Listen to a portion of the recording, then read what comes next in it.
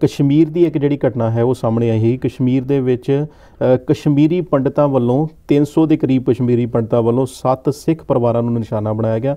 ਉਹਨਾਂ ਨੂੰ ਬੁਰੀ ਤਰੀਕੇ ਦੇ ਨਾਲ ਜਿਹੜਾ ਹੈ ਕੁੱਟਿਆ ਗਿਆ ਮਾਰਿਆ ਗਿਆ। ਹੋਰ ਵੀ ਬਹੁਤ ਸਾਰੀ ਜਿਹੜੀ ਖਬਰ ਹੈ ਇੱਕ ਸੋਸ਼ਲ ਮੀਡੀਆ ਤੇ ਵਾਇਰਲ ਹੋਈ ਸੀ ਉਹ ਸਾਹਮਣੇ ਆਈ ਹੈਗੀ। ਔਰ ਹਿੰਦੀ ਦੇ ਇੱਕ ਅਖਬਾਰ ਨੇ ਜਿਹੜਾ ਹੈ ਇਸ ਨੂੰ ਆਪਣੇ ਪੇਜ ਤੇ ਵੀ ਜਿਹੜਾ ਹੈ ਜਗ੍ਹਾ ਦਿੱਤੀ ਸੀ। ਕੀ ਕਹੋਗੇ ਅਵਤਾਰ ਸਿੰਘ ਜੀ? ਹਾਂਜੀ ਹਾਂਜੀ ਇਹ ਕਿਹਾ ਜਾਂਦਾ ਸੀਗਾ ਵੀ ਗੁਰੂ ਸਾਹਿਬ ਨੇ ਕਸ਼ਮੀਰੀ ਪੰਡਤਾਂ ਲਈ ਕਿੰਨੀ ਵੱਡੀ ਕੁਰਬਾਨੀ ਦਿੱਤੀ ਹੈਗੀ ਹੈ ਨਾ। ਜੀ। ਵੀ ਅੱਜ ਉਹ ਸਾਰਾ ਕੁਝ ਭੁੱਲ ਭੁਲਾ ਕੇ ਉਹੀ ਕਸ਼ਮੀਰੀ ਪੰਡਤ ਹੂੰ ਹੂੰ। 300 ਪਰਿਵਾਰਾਂ ਨੇ 6-7 ਸਿੱਖ ਪਰਿਵਾਰਾਂ ਦੀ ਕੁੱਟਮਾਰ ਕੀਤੀ ਹੈਗੀ ਆ।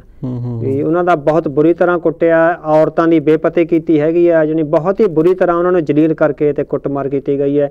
ਅਸੀਂ ਸਮਝਦੇ ਹਾਂ ਵੀ ਇਹ ਨਵੀਂ ਸਰਕਾਰ ਆਉਣ ਦੇ ਨਾਲ ਇਸ ਕਿਸਮ ਦੇ ਜਿਹੜੇ ਟ੍ਰੈਂਡ ਹੈ।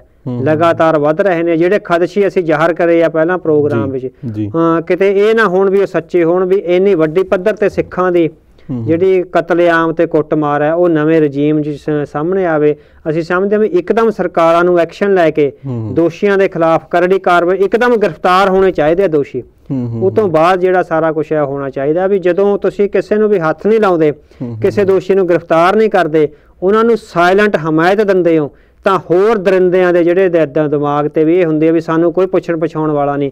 ਜਿਹਨੂੰ ਮਰਜ਼ੀ ਕੁੱਟਦੇ ਹੋ ਜਿਹਨੂੰ ਮਰਜ਼ੀ ਮਾਰਦੇ ਹੋ। ਸੋ ਜੇ ਇਸ ਤਰ੍ਹਾਂ ਦਾ ਟ੍ਰੈਂਡ ਹੈ ਭਾਰਤ ਵਿੱਚ ਚੱਲਿਆ, ਤਾਂ ਉਹ ਦੇਸ਼ ਲਈ ਕਾਫੀ ਖਤਰਨਾਕ ਹੋ ਸਕਦਾ ਹੈਗਾ। ਅਕਾਲ ਚੈਨਲ ਨੂੰ ਸਬਸਕ੍ਰਾਈਬ ਕਰੋ।